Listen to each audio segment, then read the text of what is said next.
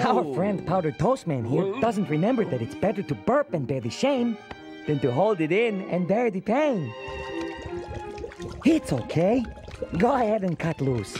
It's perfectly acceptable etiquette. No! Mustn't! It's bad manners!